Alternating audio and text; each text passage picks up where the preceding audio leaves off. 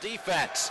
Geriot, top of the key to Kevin Smith, right side. Reverse it left to Geriot. Takes a long three-pointer, and there it is. Point 700, 701, and 702. Skip pass left side to Geriot. He's open for another three, and he swishes it again.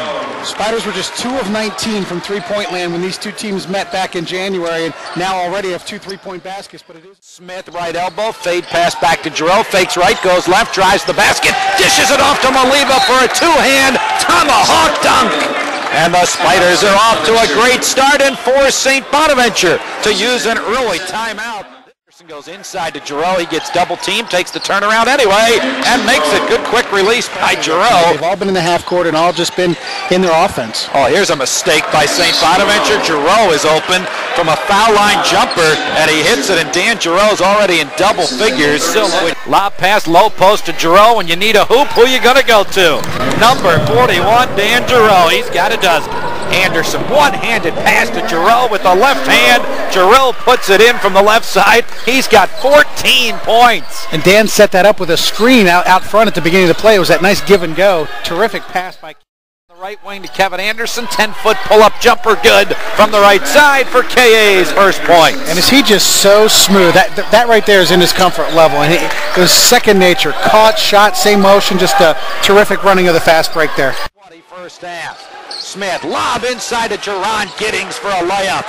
Great touch pass by Kevin Smith, and Giddings finishes. Just to kind of slow up the Spiders as they get to half court.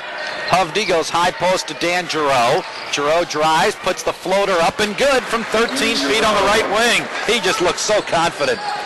Well, the only person that's able to stop Dan Geriot from scoring tonight is Chris Mooney. Floor Anderson, high post Geriot, turns his floater on the way. This one off the rim, no good. Got his own rebound off a tip from Maliva, and Geriot puts it in. 8 to Gonzalvez. Right side to Kevin Smith, who takes a three with 12 seconds to go in the half. No good. Back to Geriot, and he hits a three off the rebound by Maliva. Well, that worked out okay for the Spiders because Superman made the three-pointer, and Dan 14 a game hasn't posted. Geriot out to Gonzalvez, wide open from the top of the key. You betcha.